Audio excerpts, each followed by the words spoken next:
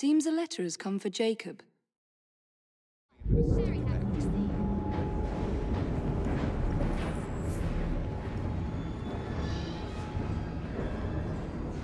Looking lovely today, Evie. Owning the railway wasn't enough. Now Starrick has bought an omnibus company as well. I suppose he wants to control the neighborhood's workers and keep them under his thumb. Pearl Attaway is Starrick's competitor, is she? Perhaps it's time I went into business. And Miss Fry, what are your plans? I studied the history we recovered from the Kenway Mansion's hidden room. I'm off to a certain monument. Hmm. Seems a letter has come for Jacob.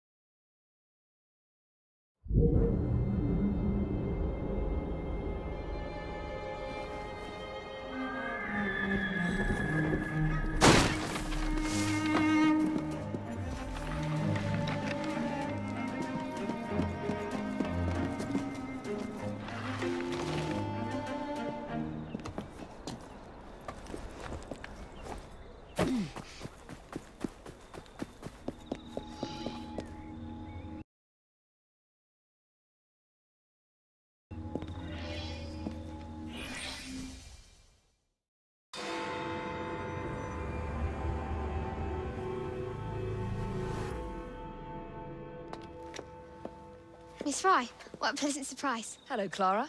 I was just going to check on Lambeth since the asylum's closing. What brings you here? The children in my care have been falling ill. Our usual tonics aren't working. A cane, too. Are you certain you're feeling all right? Of course, I am, miss. Clara! Is there a doctor nearby?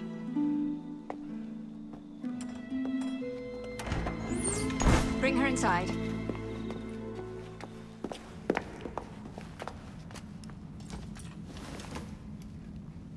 She simply collapsed. Yes, she said the others took tonic, but it didn't work. I should think not. Ever since Elliotson was murdered, the district has been overrun with counterfeit tonics. This one needs proper care. But without the appropriate medication, she and the others will quickly decline. What do you need? I need supplies. Plenty of them. And medicine. Some of the less common ingredients are being stolen and sold at auction.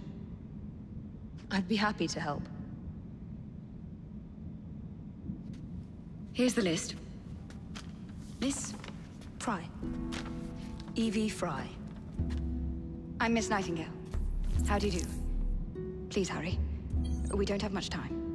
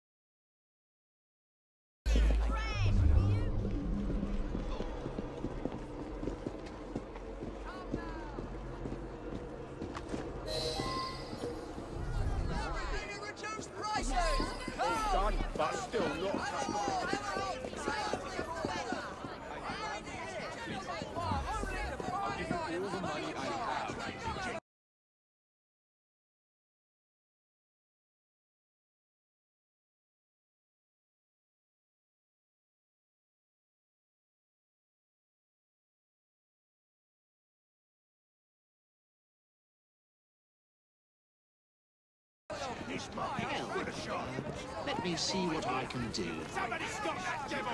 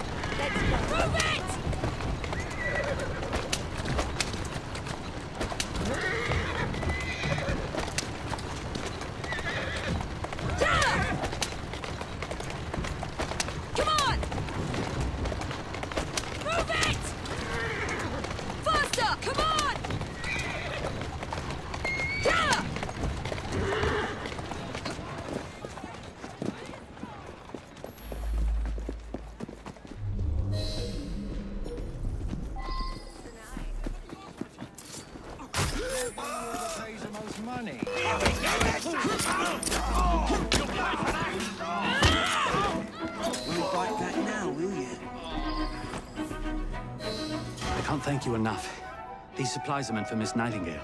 I'm here to collect them. And they're already loaded on the cart. Please take them. You mean that cart? Yes. Of course it is. Please be careful. Some of those items are fragile.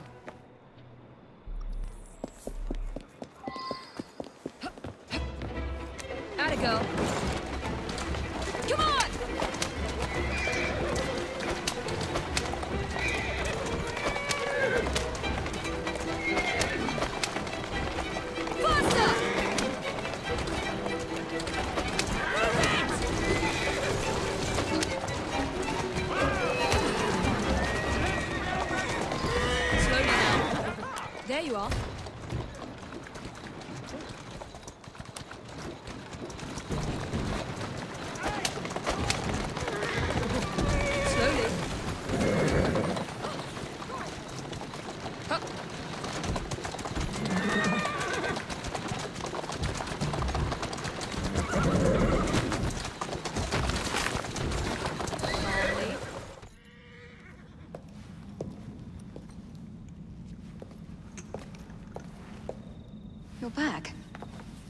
And not a moment too soon. I hope you brought the medication I requested. How is she?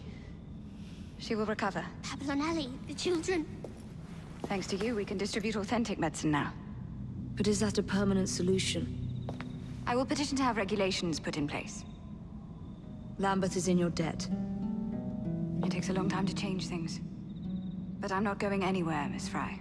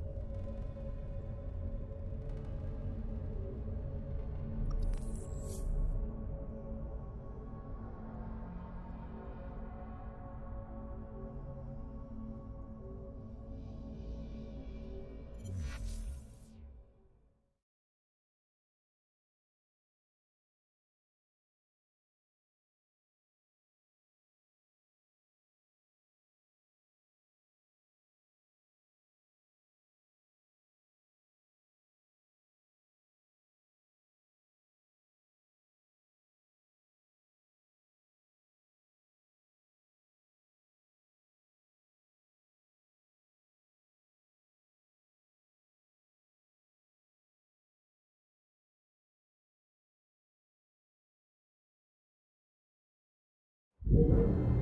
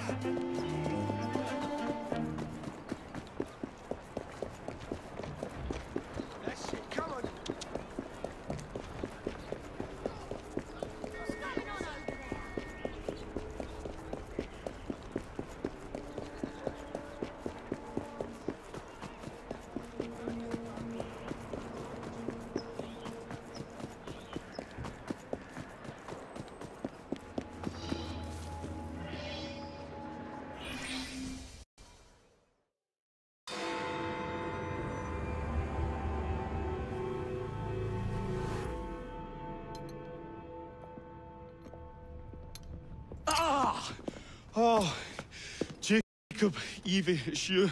Thank goodness. Experimenting, are we, Alec? Correct. And looking a bit frazzled. Nerves.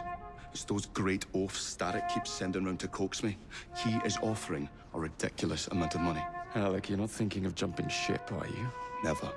I've been working on something in case they get too insistent. Uh, it's meant to stun an assailant, should the need arise. Are you certain that it works? Uh, not as such. I I've made three of them with varying degrees of acidity and whatnot. Oh, one must be the right formula. Let's find some Starrick lackeys to target then, shall we? Speaking of Starrick, he is still transmitting false information.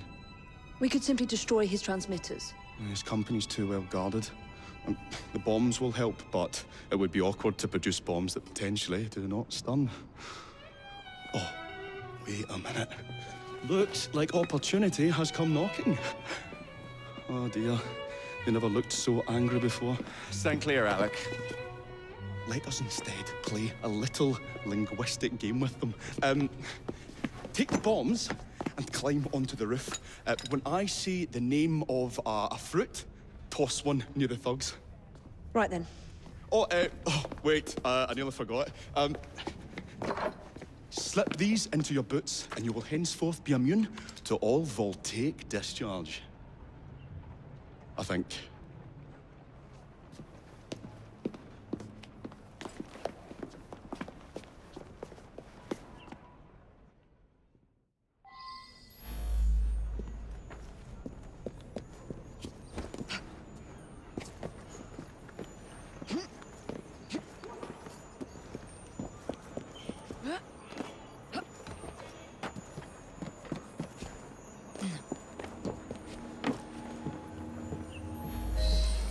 Good day, gentlemen.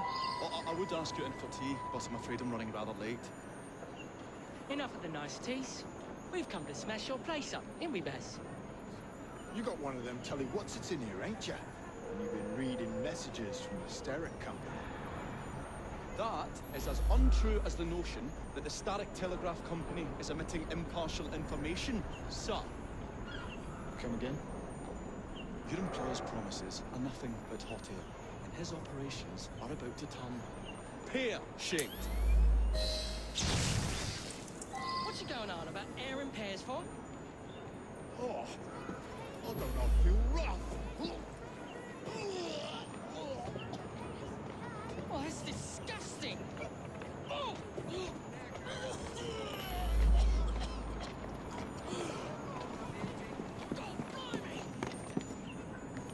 Oh, kids, huh? Those playful young snakes.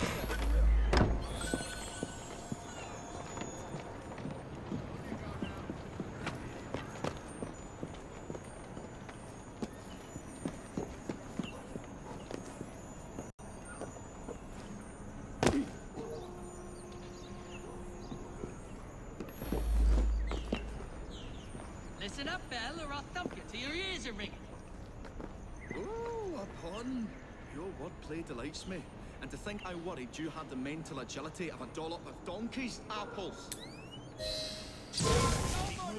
Apples? I think he's trying to be funny. Oh, you dropped a no on Bill. You little sod. Oh, ain't me, Bez.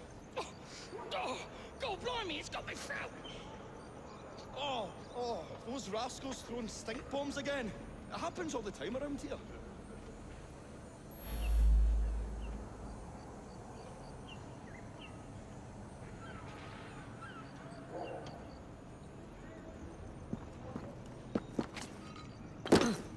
Right. Tell us where you keep that telly what's it. I'll count to three. Three?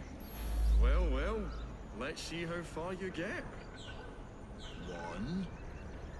Do you really think I would keep it here? Do you see a cable? A telegraph without a cable is about as useful as a bell without a clapper. I'll give you a bleeding clapper. Well, bless my boots, you're as purple as a plum. A plum? What's happening over there? Good show, Alec. Thanks to you, Evie. Your mere presence gave me courage and resolve I never knew I had. I'm glad I could help. Now it's time to shut down Starrick's empire of propaganda.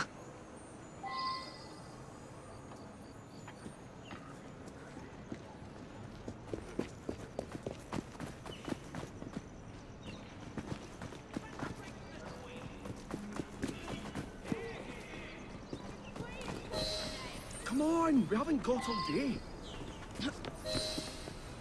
The longer we can keep Starrick from spewing out false information, the more we can awaken the people with the truth about his operations. I agree. The sooner we can get there, the quicker we can act. Would you believe my mother says there are still some wives in her street that swear by that shooting star? So I took it upon myself to tell her neighbours the truth about the obnoxious draft. That's good, Alec. But you can't go round to every household in London town. No, wasn't always welcome. Which shows how false information can be as difficult to stamp out as fishwives' profanities at Billingsgate. Or vermin at Smithfield. But if we can eradicate a source that continually feeds such detrimental trash, then little by little the truth will take the upper hand and the sham will be flushed out. That's why we're here. We will have to get in without being detected, mind. I shall stand them while you get inside. I shall destroy not one, three parts of the transmitter. He'll be as good as dancing before a public toilet without a penny.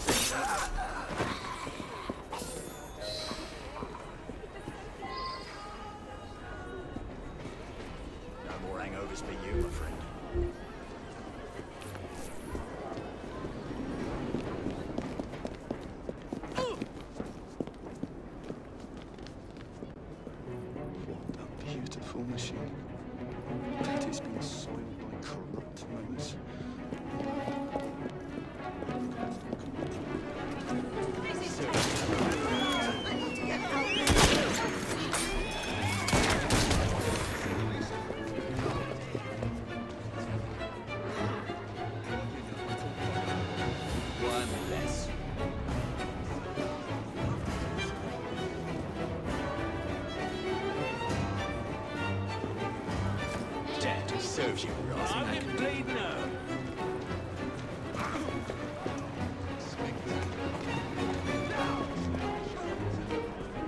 Trouble you again, I swear it.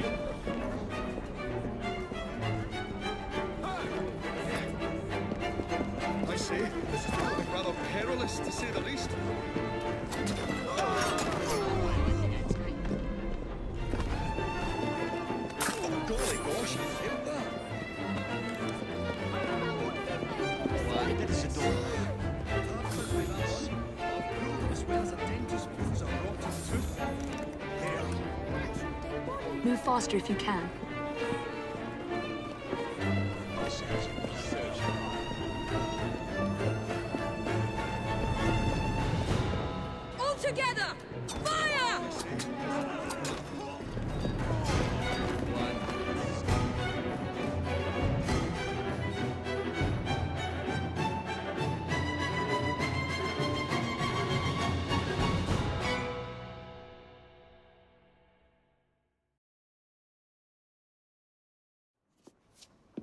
Dears, Jacob, Evie, thanks are once again in order for supporting what is most dear to me and to our cause freedom of speech. It's a blessing that you employ your genius for the common good, Alec. However, I suggest you vacate your workshop. Uh, no need. Not now you've given me sacks full of courage. And besides, what with my little devices, I have all the protection I need. Uh, should you find yourselves with a moment to spare, do drop by. Ah.